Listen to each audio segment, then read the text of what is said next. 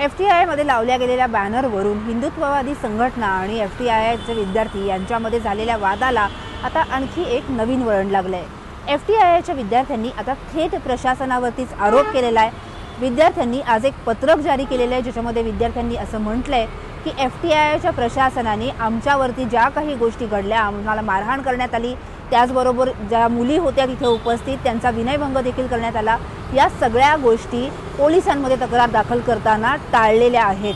बी B C मराठीने F T आयच्या विद्यार्थ्यांशी जेव्हा संपर्क साधला तेव्हा बी बी सी मराठीशी बोलताना हे विद्यार्थी म्हणाले की ज्या दिवशी ही घटना झाली त्या त्यावेळेला जवळपास पाच विद्यार्थी यामध्ये जखमी झालेले होते.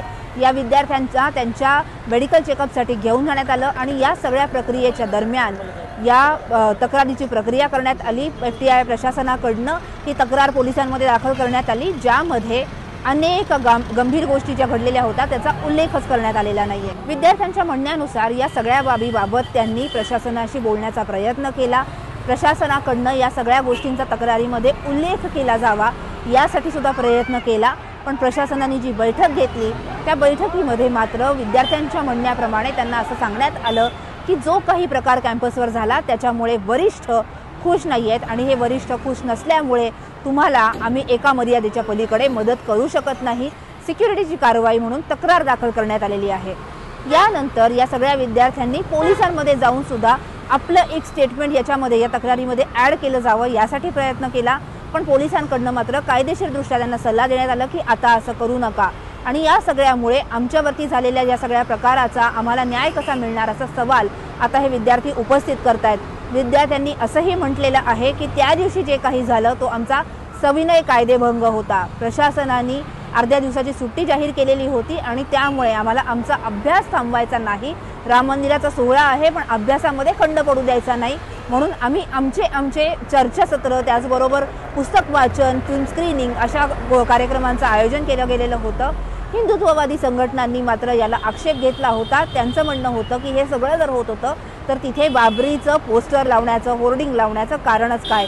एक मोठं बॅनर एफ टी आयच्या कॅम्पसमध्ये लावण्यात आलं होतं ज्याच्यामध्ये विद्यार्थ्यांनी डेथ ऑफ द कॉन्स्टिट्यूशन म्हणजे आता भारताची जी घटना आहे ती संपलेली आहे अशा आशयाचं आणि रिमेंबरिंग बाबरी म्हणजे बाबरीची आठवण काढताना अशा पद्धतीचे उल्लेख केलेले होते ज्याला या हिंदुत्ववादी संघटनांनी आक्षेप घेतलेला होता. या प्रकरणामध्ये आता दोन्ही बाजूंनी तक्रारी दाखल करण्यात आलेल्या आहेत. पोलिसांकडे दाखल झालेल्या तक्रारीनुसार एफ टी आय आयच्या विद्यार्थ्यांच्या वती एफ टी आयच्या प्रशासनाच्या वतीने जी तक्रार दाखल झालेली आहे त्यामध्ये दहा ते बारा अज्ञातांविरोधात पोलिसांनी गुन्हा दाखल केला आहे तर ज्या संघटनेचे लोक इथे आले होते त्या संघटनेच्या अध्यक्षांकडनं दाखल करण्यात आलेल्या तक्रारीनुसार एफ टी आय आयच्या जवळपास सात विद्यार्थ्यांवरती गुन्हा दाखल करण्यात आला आहे ज्यातले दोन विद्यार्थी हे आपल्या कॅम्पसवर नसल्याचंच विद्यार्थ्यांचं एफ टी आयच्या विद्यार्थ्यांचं म्हणणं आहे. प्रशासनाने या बाबतीमध्ये हे झालं ते सगळं दुर्दैवी आहे आणि या प्रकरणात आम्ही चौकशी करत आहोत असंही म्हटलंय. पण विद्यार्थ्यांनी दावा केलेला आहे की प्रशासन आता आमच्याच विरोधात सुद्धा चौकशी केली जाईल. या हा कार्यक्रम का आयोजित केला?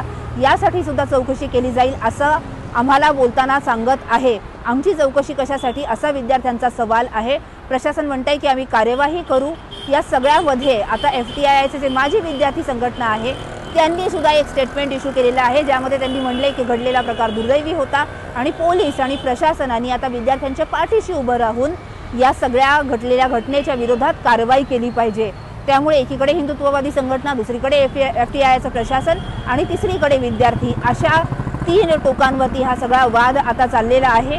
विद्यार्थ्यांच्या आरोपानंतर प्रशासनाकडनं अजून तरी काही बाजू मांडली गेलेली नाहीये. आता एफ टी आयचं प्रशासन या विद्यार्थ्यांच्या आरोपांना उत्तर देतं का? वरिष्ठांबाबत जे दावे करण्यात आलेले आहेत त्याबाबत काही सांगताय का? हे पाहणंही महत्त्वाचं ठरेल.